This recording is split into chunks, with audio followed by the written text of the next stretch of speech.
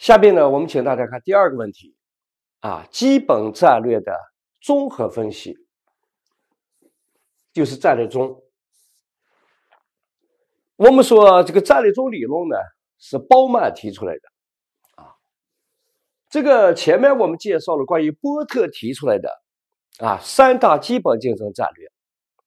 那么我们说这三大基本竞争战略呢，主要是通过低成本或者差异化。来获取竞争优势的。我们说低成本寻求什么？低成本寻求的战略利益，主要是一个市场占有率、市场份额。那么差异化战略寻求利益呢，主要是高的利润。那么在波特的观点当中，他认为，啊，你追求市场占有率和追求高的利润，他俩是没办法兼顾的。也就是说，鱼和熊掌二者不可兼得。啊，你如果是寻求一个高的市场占有率，那么你必须以牺牲利润为前提；如果你要追求高的利润，那么你又必须牺牲你的市场份额为前提。所以，波特观点认为呢，低成本和差异化二者是不可兼顾的。那么，鲍曼提出来的战略中理论。等同于是对波特的基本竞争战略呢进行了进一步的完善。那么也就是说，鲍曼提出来的有效的竞争战略呢，概括为三种：一个是叫成本领先战略。那么这个成本领先战略啊，就包括波特的成本领先战略和集中成本领先战略这么两种有效战略。啊，是第一个。第二个是差异化战略。我们说差异化战略就包括了波特提出来的集中差异化战略和差异化战略这么两种。第三个，这就是我们所讲的包曼了对波特的基本竞争战略进行完善。那么也就是说，包曼提出来有效的竞争战略呢，还有第三种，就叫混合战略。所谓的混合战略。就是把追求低成本和追求差异化二者呢能够兼顾起来，就是强调同时追求低成本，同时又追求差异化。所以他把这个有效竞争战略就称作叫混合战略。那么关于混合战略，就要求大家主要是掌握选择题啊，选择题，注意客观题的。下边我们请大家看经典例题。说，从事苹果种植与销售的求实公司，于二零一七年率先的采取了一种新的经营方式，在种植区增设了园林景观、运动场、游戏场等。到秋收季节，顾客可前来付费呢进行休闲娱乐活动，同时能以市场最低的价格采摘和购买苹果。顾客采摘和购买苹果达到一定数量，还可以免费的参加休闲娱乐活动。那么这一经营方式受到市场的热捧，求实公司采取的上述战略属于哪一种呢？这个大家看一下，关键词是率先采取了一种新的经营方式。那么这种经营方式的描述呢，很明显代表了什么？代表了差异化。同时还能以市场最低的价格采摘和购买苹果，这又体现什么？这又体现了低成本。所以，我们说这家公司很好的兼顾了低成本和差异化两个优势。所以，这家公司采取的战略呢，应当是属于我们所讲的混合战略，就是应当选择 D。下边我们请大家看第二个考点。是关于中小型企业竞争战略的选择，那么这个问题呢也是个重点啊。这个问题在近年来的考试当中呢，也经常是在简答题当中涉及到。我们说，这个中小型企业分布比较广的啊，有两个产业，一个是零散产业，一个是新兴产业。所以下边呢就围绕零散产业和新兴产业当中中小型企业战略选择呢啊进行分析。首先是我们看零散产业啊，我们说零散产业有什么特点呢？我们说零散产业通常情况下，这个产业内的企业的数量呢比较多，但是我们说产业的集中度呢比较低，就产业集中程度比较低啊，就意味着。在这样一个产业当中，尽管竞争者企业数量多，但是没有任何一个企业或若干个企业来左右整个产业的发展，也就任何企业的单独活动无法左右这个整个产业的发展变化。所以我们说呢，这样一个产业呢，就是个零散产业啊。比如说像快产业、洗衣行业、照相行业等等，都是属于典型的。这种零散产业啊，当然在现实生活当中，我们接触到的还有很多。你比如说，还有一些什么洗车行业，洗车的；还有呢一些汽车配件行业啊，汽车维修行业，这都是属于典型零散产业。那么，关于零散产业当中这个中小型企业竞争战略选择，首先我们需要大家掌握第一点，就是关于造成一个产业零散的原因。所以，一个产业为什么零散啊？这个要求大家结合案例呢会分析。我们说造成一个产业零散的原因，可以概括为两大原因。第一个原因呢，我们把它称作叫经济因素。所谓的经济因素呢，主要是围绕一个产业自身的基础经济特性，就是来自于产业内部自身的特性决定的。那么这个因素是要求大家重点把握的有三条啊。第一条就是产业进入障碍低，或者是重振退出障碍啊，这第一条。这个道理很简单，所谓这个进入障碍低或者重振退出障碍，就说这个产业的进入障碍很低呀，进入门槛低，所以我们说会有大量的企业呢进入到这个产业。可是我们说的产业退出的障碍高，或者叫退出壁垒高，容易进入，不容易退出，啊，为什么呢？原因就是啊，这个产业不容易退出，原因呢，我们说可能一个方面是什么？一个是退出成本高，另外一个呢，可能是就继续这个产业当中重续下去的话，那么付出的代价。可能比退出的产业付出代价低，啊，也就退出成本高，可是继续这个产业当中待下去的话，这个代价反而会比退出的代价要小。所以基于这样一种情况，我们说就造成了产业进入障碍低，很容易进入，但是没有一个通畅的一个退出渠道，所以会使得这个产业越来越拥挤，啊，这是第一个原因。第二个原因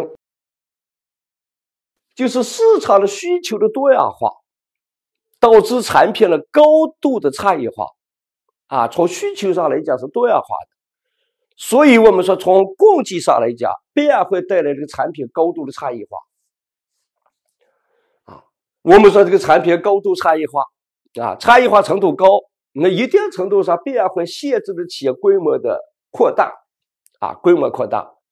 所以呢，我们说使得在这个特定的产业当中呢，分布的企业都是一些什么中小型企业。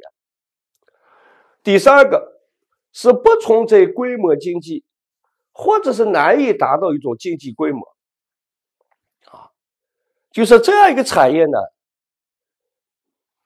我们说通常情况下，啊，需要投入什么？需要投入的是一些专业的技能，啊，技能。你没办法呢去扩大它的规模，所以我们说难以达到这种规模经济，啊，难以达到规模经济，这是造成一个产业零散的主要原因有三个原因啊，这三条原因要求大家重点把握。那么还有一类因素是非经济因素，啊，也就来自于产业外部的一些因素。什么因素呢？第一个是政府政策和地方法规对某些产业的集中呢。进行了限制，进行了限制，就政府出台政策和法规限制你一个产业过分的集中，以免的形成一定的垄断。比如说，在我们国家啊，这个交通运输部呢牵头相关部委呢出台了一个汽车维修技术信息公开实施管理办法。那么在这个办法当中，它强制的就打破了 4S 店对汽车零部件的垄断，就是允许这些授权经销商呢，可以向非授权经销商转让的汽车零部件。那就说从我们这个消费者的角度来讲，啊，你要更换原厂零部件的话，像过去我们必须通过 4S 店。才可能够获得原厂的配件。现在我们说这个办法出台以后呢，就打破了 4S 店对原厂配件这种垄断了。我们也可以呢，像一般的啊，就是不是 4S 店，就一般的汽配城，我们也可以买到这个原厂的配件啊。所以我们说这个就这个办法的做到，一定程度上怎么样，就是为了限制的汽配行业呢过分垄断啊，这就是。政府政策、地方法规造成了汽配产业呢，我们说没办法集中，啊，它变成零散的产业。另外一个啊，是没有任何一个企业占有显著的市场份额，也没有任何一个企业呢能够对整个产业的发展产施加重大影响，啊，这也是客观上造成一个产业零散的原因。这是要求大家掌握第一个问题，啊，就是关于。零散产业零散的原因，原因重点是掌握前边的三条经济因原因。第二个问题，零散产业的战略选择。我们说零散产业的战略选择，也就是说，基于我们前边所讲，波特提出的三大基本竞争战略。我们说零散产业的啊，这个中小型企业竞争战略的选择呢，也不外乎就是波特提出来的。三种基本竞争战略，那就是成本领先战略、差异化战略和集中化战略啊。那么这个问题也是要做一个重点，结合案例来分析。首先，我们看第一个啊，就是成本领先战略。我们说成本领先战略追求的利益呢，就是为了获得这种低成本的优势。那么，作为零散产业当中的中小型企业。要想获得这种低成本优势，那么关键问题如何克服零散啊？如果你克服零散了，形成一定的规模经济了，那自然我们说就解决了这个低成本的问题。所以这里就谈到呢，它的主要途径啊，途径这三条途径呢，要求大家结合案例能够分析，说怎么来克服零散呢？啊，具体的途径，第一条，第一条就是采取直营连锁或者特许经营这种方式，啊，来获得规模经济优势，啊，那么这里的表述大家注意看一下，就是教材当中原话和我这里讲的不太完全一样，就是在我们现实生活当中呢，大家知道这个连锁经营，连锁经营。我们通常情况下就包括什么直营连锁和加盟连锁，也就特许连锁啊，这么两种。那么就直营连锁指什么？直营连锁就是我们通常所讲叫开直营店啊，开直营店，也就是说我企业自己开自己的什么直营店啊，这叫直营连锁。那么这个直营连锁，也就是开分店这种形式。这个其实结合我们前面第一节来讲的话，相当于是实现企业发展战略途径当中哪种途径呢？那个叫内部发展啊，相当是新建。那么如果这个连锁形式采取加盟连锁啊，加盟连锁或者是特许连锁，也就特许经营的话，我们说也可以的帮助企业呢发展壮大。但是我们说这个特许连锁或者特许经营，这个是属于实现企业发展战略途径当中哪条途径呢？其实是属于我们所讲的战略联盟当中的契约式联盟，契约式联盟。所以这是第一个途径啊，就通过直营连锁或者特许连锁的方式，我们说可以使企业呢获得规模经济，从而带来一种低成本的优势啊，这第一个。第二个是通过技术创新来创造规模经济，通过技术创新创造规模经济。这里我们给大家举了个例子啊，举个例子，说二十多年前啊，比如说拿我们助会培训产业来讲。当时我们说主要是以什么以面授为主的，啊，面授啊，就面对面的教学，啊，我们说每个城市呢，就是这一二线城市，每个城市呢恐怕有那么七八家这个助会培训的这些机构啊，就是说在线下从事实体培训的。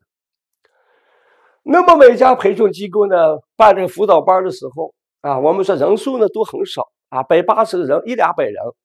啊，相当的分散。那么说，后来呢，我们说有些机构呢，就借助一种 IT 技术啊和互联网，开办了网络远程教育。啊，这个大家都清楚啊。比如说像冬奥会这这些啊，这个冬奥会的这些，最初我们说只做什么？只做这个助课培训、职职培训。啊，主要是出版辅导书的，就大家比较熟悉的《轻松过关》系列书。后来呢，我们说这个冬奥呢，啊，冬奥教育集团呢，我们说开办了什么远程教育了，啊，就冬奥会这些。我们说使得这个助会培训产业呢，就借助于这种 IT 技术、信息技术和互联网技术，我们说创造出规模经济了。啊，现在我们说这个助会培训产业呢，逐渐的趋于集中，啊，这就是凭借这种技术创新的手段呢，啊，来创造出规模经济的，啊，创造出规模经济，从而我们说当然就获得低成本优势。第三个是尽早发现产业的发展趋势，啊，就是你最最好能够提前的预测。这个产业未来发展趋势是个什么趋势啊？如果你能够提前的预测到未来产业的发展趋势，那么就可以提前积极主动的进行什么进行战略布局。所以我们说，这就可以获得什么？可以获得规模经济，或者是我们所讲的经验曲线效应。经验曲线效应也叫学习曲线效应。通过规模经济效应和经验曲线效应。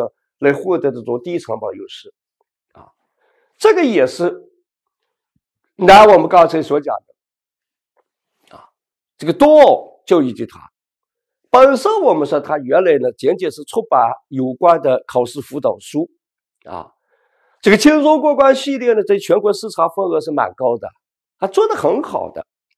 后来呢，这个冬奥啊，这个战略决策层呢，就决定呢要开办这个网校。啊，就开办这个冬奥会计在线。那么他认为呢？啊，说当时呢这种面授啊，啊很分散，没有规模经济效益，而且特别是在一些一二线城市，啊，有些学员，我们这都是利用业余时间来参加的面授的，啊，下班以后呢，我们说从单位再跑到了培训地点。从培训地点上完课，晚上上三个小时课，上完课然后再回到家，晚上可能都十一点多了，啊！而且我们说这种面授培训受什么？受这种空间、时间的限制啊比较大，不便于大家自主的去啊把握的学习节奏。所以未来的发展趋势很可能就是远利用这种网络的远程教育啊，将来最终我们说可能会形成一个气候形成规模。所以呢，在这种情况下，我们的冬奥教育集团就提前的布局这个远程教育啊，所以呢，到今天为止，它就形成一定的规模经济效应。同时，我们说它也获得了一定的经验曲线效应，靠这种规模经济效益和经验曲线效应交替的帮助它带来了什么？低成本的优势了。啊，低成本优势。这是关于实施成本领先战略面临的问题，如何克服零散呢？主要通过三个途径：一个是通过直营连锁或者是特许连锁的方式来创造规模经济；第二是通过技术创新来创造规模经济；第三个是及早的啊预测产业未来发展趋势，及早进行战略布局，以抢得先机。啊，这是关于实施长保领先战略啊，如何克服零散三个途径。第二个是采用呢差异化战略。我们说采用差异化战略，核心问题啊就是追求个高的附加值、高的利润。那么你如何来增加附加值呢？啊，怎么来增加附加值呢？我们说要增加附加值的话，那必然是要通过什么？要通过一些创新啊，比如说产品的创新、服务的创新等等。通过这种创新呢，来提升客户对产品的认同感，从而我们说有助于呢，给你带来高附加值、高的利润啊。那么这里给大家举个简单的例子啊，说河北呢有一家面粉企业啊，就曾经呢以这个石质磨粉为标志，与其他呢机器磨制的面粉呢，就机制面面粉呢区别开来。主要是强调这种石磨的好处啊，石磨就原生态的一种传统的面粉的啊这种磨制加工技术，比这个机制面粉呢更原真原味啊，所以呢，我们说这家面粉企业呢是自己的这个面粉呢在面粉市场上获得了一个差异化的竞争优势啊，凭借这种差异化的竞争优势呢，我们来给它带来一个高的附加值、高的利润啊。这就通过产品的创新啊，来给它增加附加值。那么第三个就是我们所讲的聚焦战略或者叫集中化战略。我们说要实现集中化战略的话，核心问题是什么？就是专门化啊，专门化。这个专门化，我们跟大家也讲了，主要是围绕三个方面：一个是产品和服务的聚焦。一个是顾客的聚焦，一个是地理区域的聚焦，啊，通过产品服务聚焦也好，顾客聚焦也好，或者地理位置聚焦也好，能够帮助企业呢成功的采取这种集中化战略，啊，集中化战略。所以呢，这个我们就不要展开了，啊，就是集中化战略，也就聚焦战略，聚焦于什么特定的产品服务，或者特定的顾客，或者是特定的地理位置、地理区域。第三点是谨防潜在的战略陷阱啊。那么这个问题呢，建议大家是要注意选择题。选择题就是说，在零散产业当中，企业进行战略选择的时候呢，要防范可能陷入的陷阱。那么这个问题呢，主要是大家要知道这些战略陷阱有哪些陷阱啊，知道它的内涵，有助于选择题。那么，第一个陷阱是避免寻求支配地位啊，支配地位。我们说这个字什么呢？因为我们前面讲到了啊，这个零散产业呢，受它自身基础经济特性的影响啊，影响啊，这个产业怎么样啊？我们的这个产业啊，必然是很分散的。刚才也讲到了，这个分散原因有三个方面原因。那么在这样一个产业当中呢，我们说，不管是哪家企业，如果要寻求这个支配地位的话，啊，试图我们说有支配，要形成一定的支配地位，那么必然会制定一些激进的战略，啊，也就是说要当这个产业的龙头老大，啊。那么，他往往呢会制定一些比较激进的战略，啊，脱离什么呢？就是盲目扩张，脱离企业的实际的资源和能力，战略过于激进了。那么，也就是这个战略实现这个战略的话，我们说会超越企业自身的能力和资源，啊，那么往往会导致什么？过度扩张，过度扩张。那么在这种情况下，很容易导致什么？很容易导致资金链条断裂，甚至我们说经营失败，所以呢，这个零散的产业当中呢，有避免怎么样？有避免寻求支配地位啊。因为如果制定这样一个战略的话，非常激进的战略的话，我们的盲目扩张脱离企业的资源和能力了啊，导致资金链条断裂，有可能导致企业经营失败。这是第一个陷阱，避免寻求支配地位。第二个陷阱是保持一个严格的战略约束力，严格的战略约束力啊，这个实际上就是我们通常所讲的这个零散产业当中，你的战略怎么样？要保持个严格的战略定力啊，所以严格的战略约束力也就战略定力。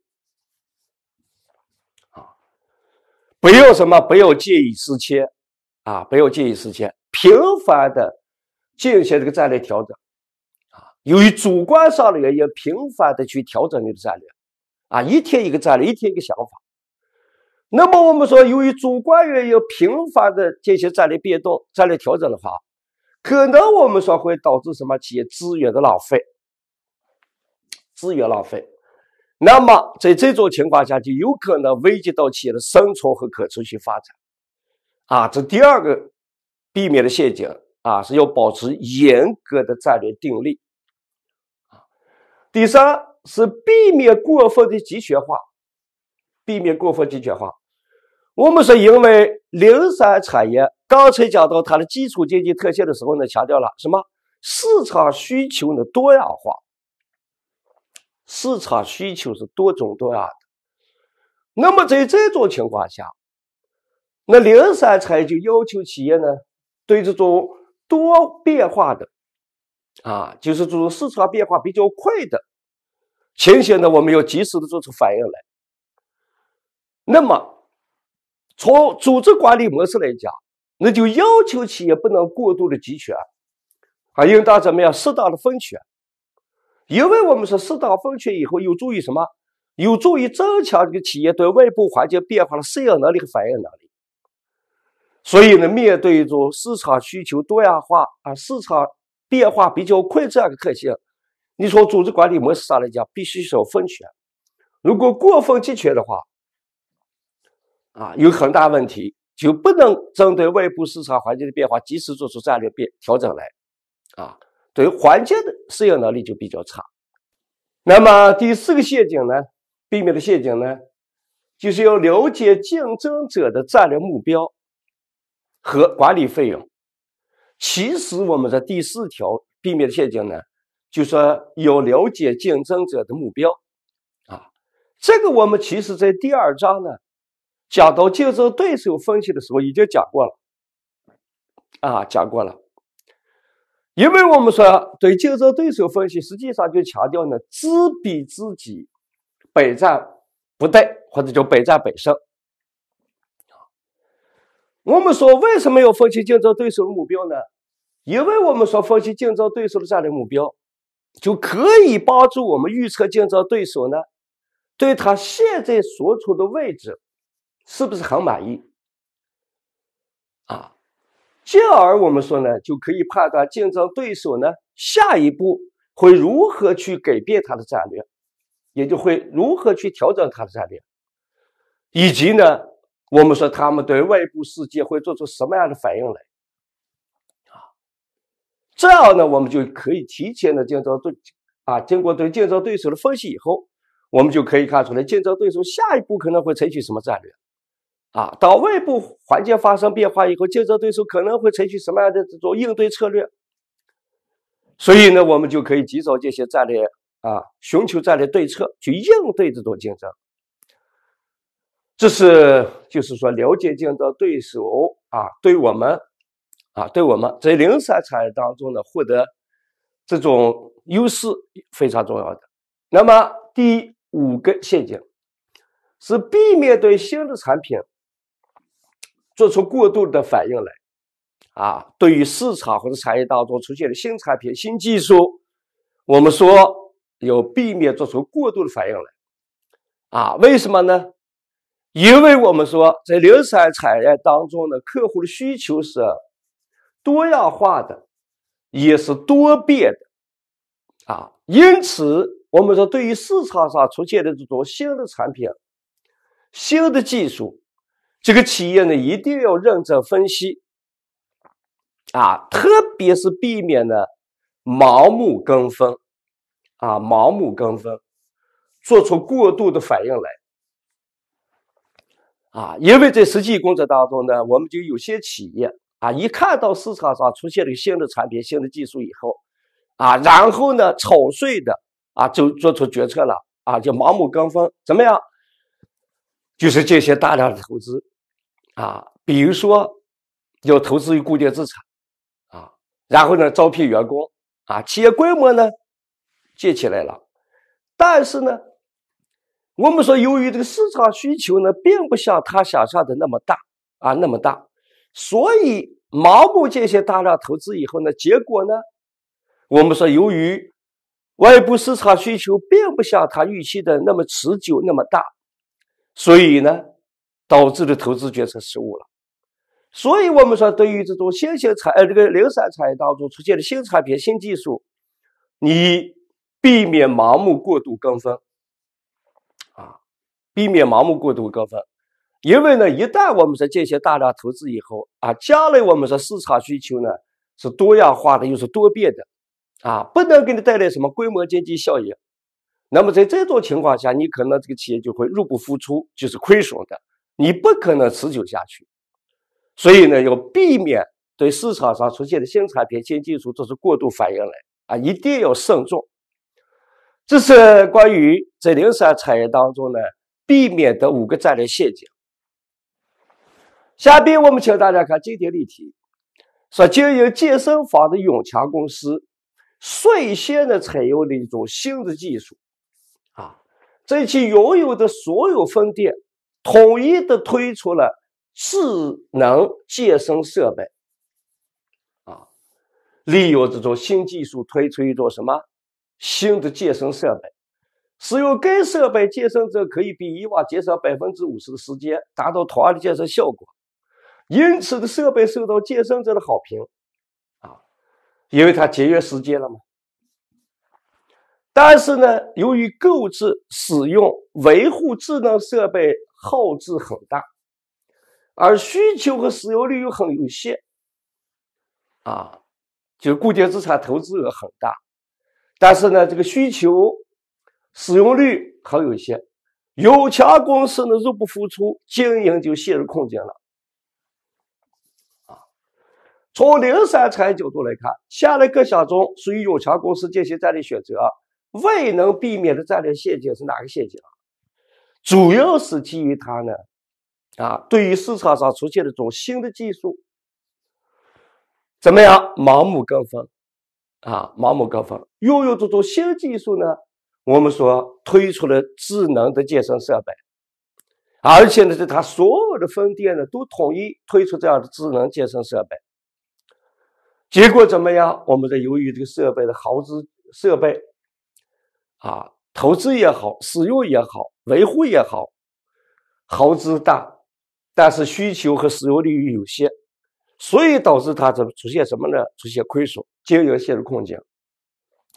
所以这个主要强调什么？主要是对新产品、新技术做出了过度的反应了，啊，做出过度反应，盲目跟风导致啊，所以。未能避免陷阱，应当是选择 B。下一个题：松涛旅行社面对老年社会的到来，啊，专注于组织老年消费者出国游业务，并在业内率先根据旅行中所在国家和地区的特点，开展健身。垂钓、摄影、休闲、美食品尝与制作、探访民居等活动，面对越来越多的慕名而来的消费者，该社在国内呢设立了上百家分社或者代理机构，复制推广上述业务模式，取得了远远高于行业平均水平利润率。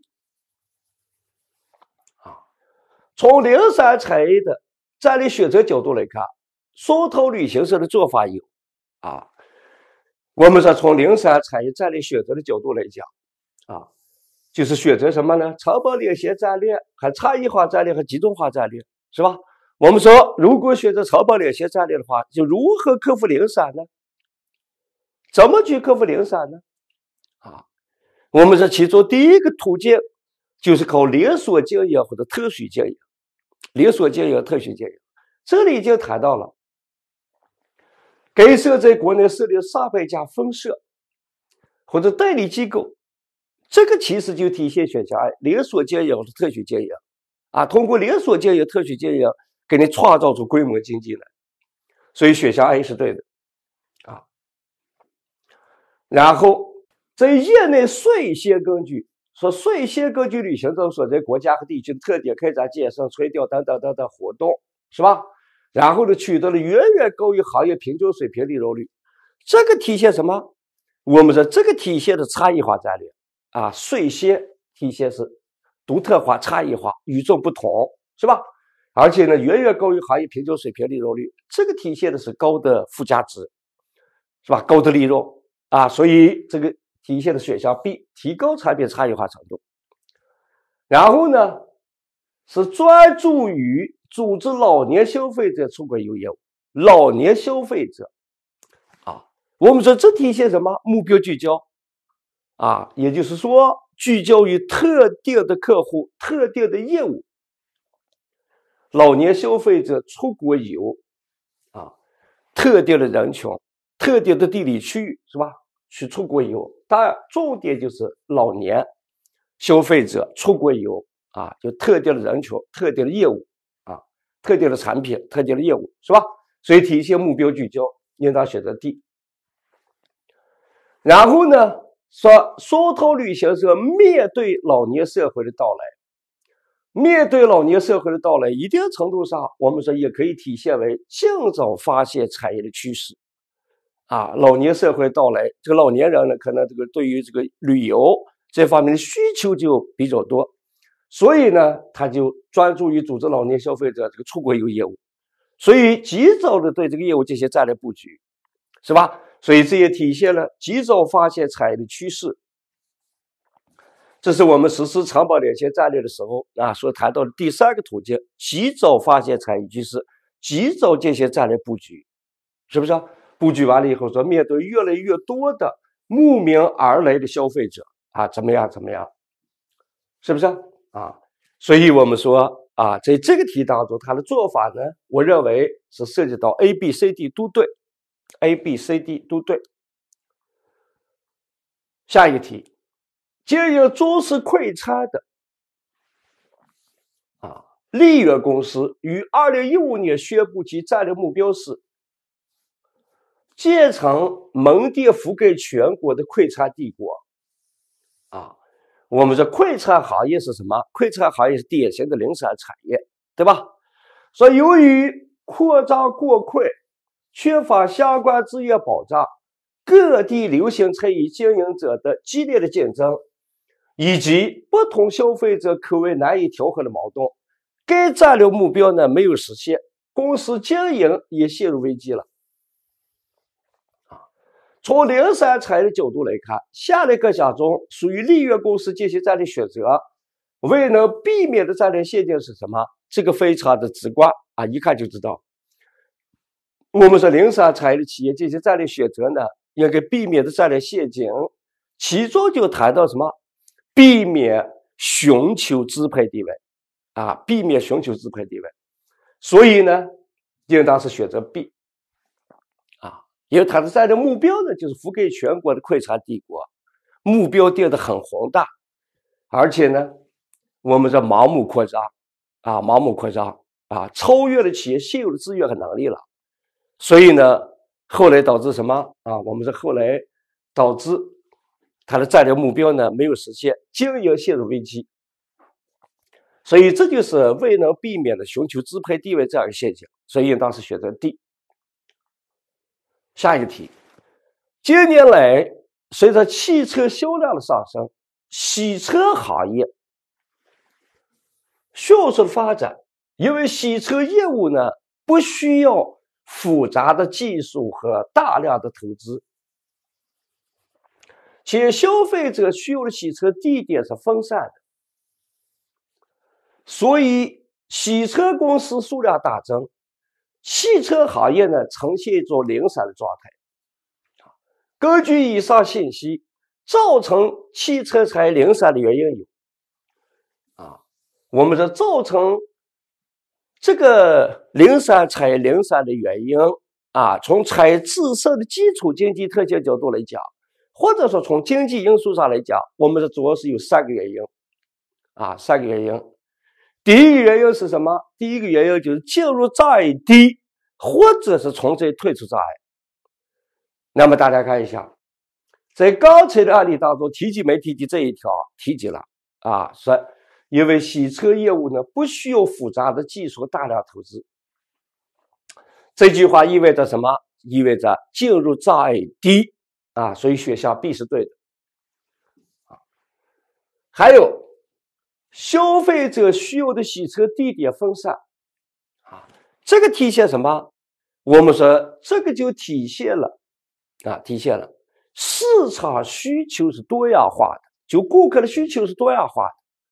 必然会导致你产品高度差异化，产品是高度差异化的，啊，你没办法怎么样？没办法集中，只能是零散。所以这个又体现了选项 D，市场需求多样化导致呢产品高度的差异化，啊，选择 B 和 D。A 成本的迅速变化，还有 C 技术的不确定性。这个 A 和 C 呢，这两个选项是属于我们下一步要讲到的新兴产业的内部的结构特征啊，讲的新兴产业的内部结构特征，不属于产业零散的原因，所以正确的选项应当是选择 B 和 D。